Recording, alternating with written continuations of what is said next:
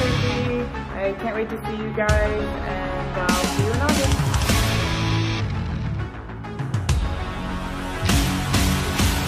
Eropa mulai kirim penawaran ke Megawati. Kara bantu wujudkan impian Mega. Bajema bocorkan sedikit penawaran dari Eropa untuk Mega. Mendapatkan atensi besar di Indonesia, Megawati menjadi harapan untuk berlaga di kancah dunia. Hal ini untuk membuat atlet voli Indonesia sadar bahwa bermain di liga luar sangat penting untuk menambah jam terbang serta skill mereka.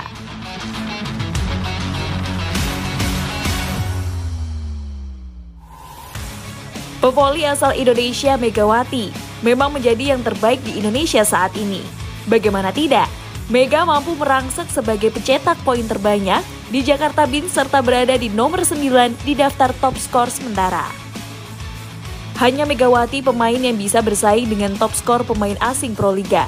Dengan berbagai macam masalah yang sebelumnya menerpa Jakarta Bin di awal laga.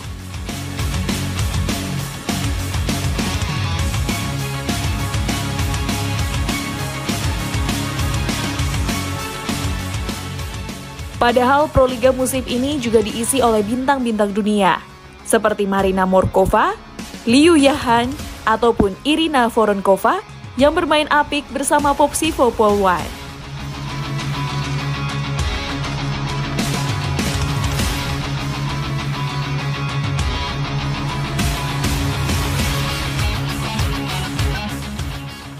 Jadi tak heran jika persaingan sangat ketat. Namun Mega masih mampu bersaing dengan para pemain kelas dunia lainnya.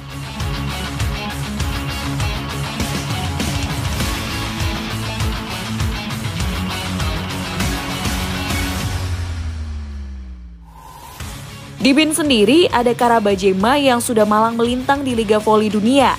Karabajema juga masuk di skuad Amerika pada VNL putaran pertama.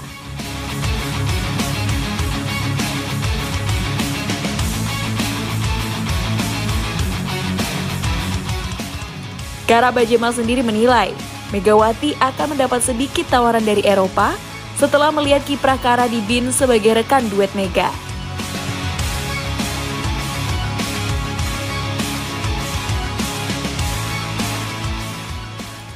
Karena para scout talent Eropa kali ini bukannya memantau Kara, justru klub Eropa malah salvok kepada permainan Megawati.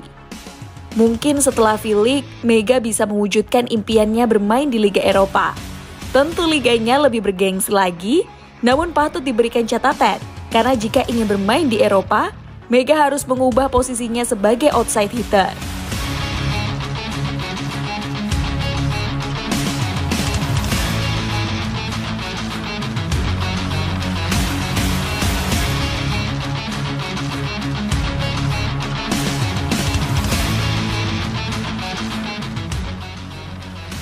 Kara sendiri menilai kemampuan Mega lebih dari Liga Asia.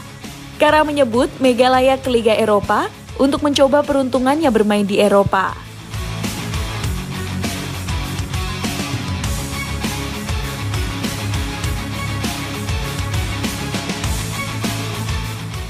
Saya rasa memang Mega bisa mencoba melakukan lompatan karir ke Eropa jika dirinya mau. Namun itu semua pastinya butuh pengorbanan yang cukup besar tutur Bajema kepada wartawan.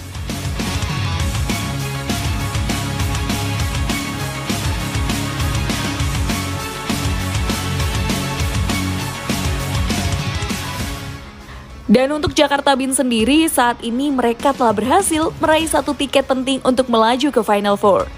Jakarta Bin sendiri sudah memastikan satu tempat di babak Final Four dengan menduduki peringkat kedua klasemen sementara.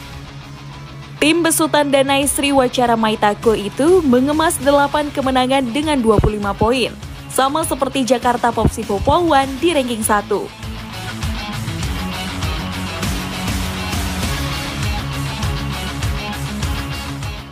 Persaingan menuju Final Four semakin panas, tidak hanya untuk kategori tim saja, melainkan juga berlaku di sektor individu.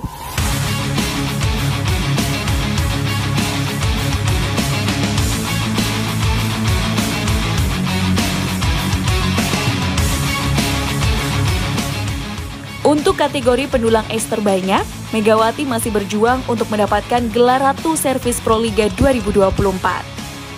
Hingga pekan ke-6 Proliga 2024 berakhir, pemain asal Jember, Jawa Timur tersebut mencatatkan 11 poin dari servis. Dalam ukuran pemain Indonesia, torehan Megawati tidak lebih baik dari yang dibukukan Tiara Sanger.